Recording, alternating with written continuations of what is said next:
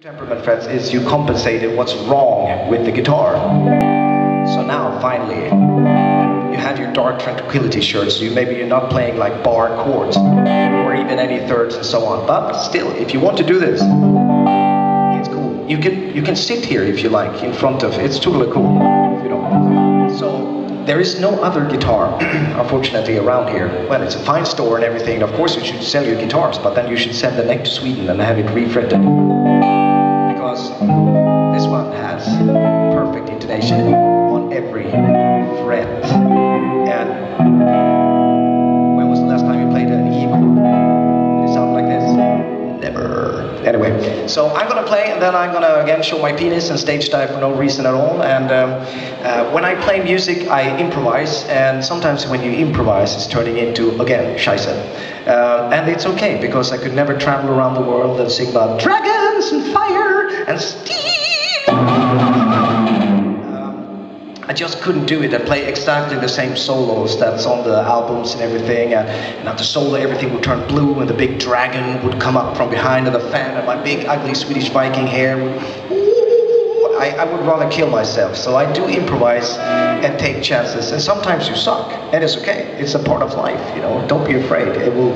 Most of the stuff with me on YouTube, there are four million clips. It's like, oh God, you know. I, I never watch it because I realize it's from the worst possible angle, of course, and only 500,000 people watch it. The sound is terrible, and I play like crap because I'm jet lagged or whatever. And again, it's a part of life. Sometimes you you can't find your left shoe, and sometimes you uh, whatever, you know. And sometimes you're really good, and that's worth to take the chance. So I improvise. Um, when I write music, I always try to find my own moustache instead of having somebody else's moustache. You know, you're like, hey, I like Yngwie Malmsteen. Whatever. Um, or I'm into Steve Vai. And so on. It's like, yeah, it's already been done. You know, why would you spend a year practicing? All right. Yeah. Hey, just move it one fret up. Sure, it sounds like shit, but it's your moustache just got to figure out who you are and why you are that way and how to get that through in your playing. So uh, I wrote this song. The first one is called In the Goo of the Evening and it's in B minor for the very dedicated people here. Oh, it's in B minor. Great. Low end that you can play something and it doesn't shit itself in the pan. So many amps when you turn um, turn it all the way up to 11 and you start to and so on, it's, it just collapses, you know. But this one doesn't. It's completely stable. And this is just a 2 by um, 12 cab, so if you buy 14 of this with 4 in them, it's going to be really funny hair after you play like a gig. So anyway, I improvised and I wrote this as the melody goes.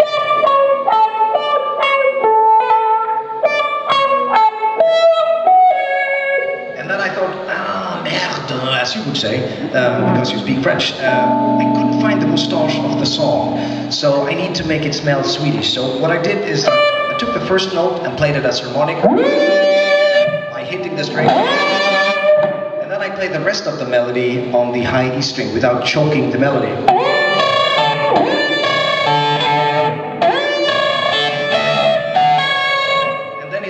Sound Alter Schwede or whatever, you know, Swedish guy.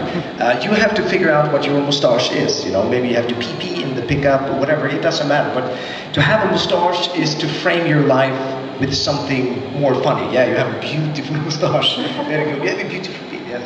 Anyway, so I'll just uh, play this, and this is the only thing I know I'm going to play. The rest may be catastrophic. Catastrophic. We shall see. Oh, it's going to be loud. Here we go. Um,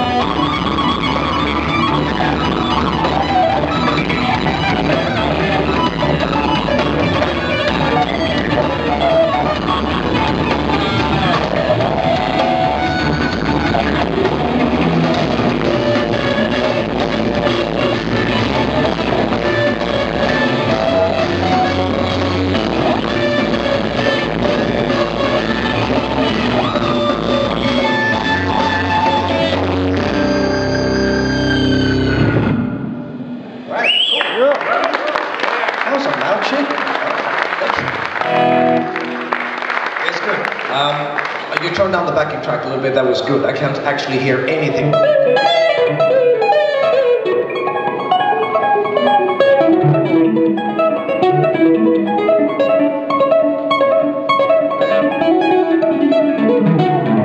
So tapping is, is very much uh, freedom for me. I can play pretty much anything I hear in my head just by, you know, going back and forth and looking at the guitar almost like a, a piano.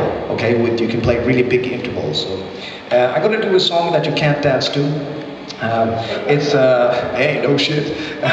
it's a it's a tapping, uh, chromatic tapping song, and it's uh, from uh, an album called Freak Guitar: The Road Less Travel, and it's chromatic scale. You know, the world's greatest chromatic melody.